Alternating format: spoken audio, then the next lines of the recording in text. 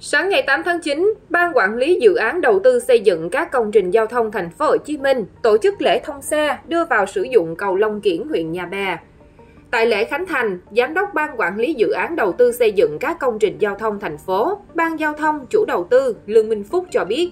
dự án cầu Long Kiển huyện Nhà Bè được Ủy ban nhân dân thành phố Hồ Chí Minh phê duyệt từ năm 2001. Sau nhiều lần tạm ngưng và tái khởi động, nay công trình hoàn thành có chiều dài gần 318 m, rộng 15 m, mỗi bên hai làn xe, đường dẫn hai đầu 661 m. Tổng mức đầu tư công trình gần 600 tỷ đồng, trong đó chi phí xây dựng cầu hơn 211 tỷ đồng, chi phí bồi thường hỗ trợ tái định cư hơn 325 tỷ đồng, chi phí tư vấn, quản lý dự án và chi phí dự phòng hơn 52 tỷ đồng.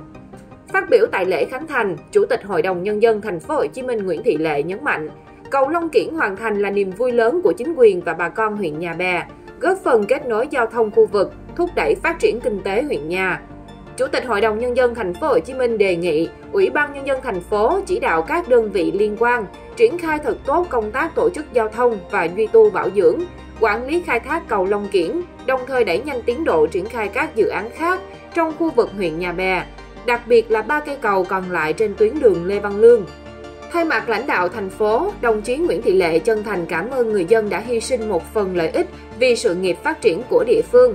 Chủ tịch Hội đồng Nhân dân thành phố đề nghị Ban quản lý đầu tư xây dựng các công trình giao thông thành phố tiếp tục hoàn thiện tổ chức bộ máy, huy động toàn bộ nhân lực vật lực, đẩy nhanh tiến độ thi công các dự án còn lại, đảm bảo đúng tiến độ giải ngân đầu tư công năm 2023.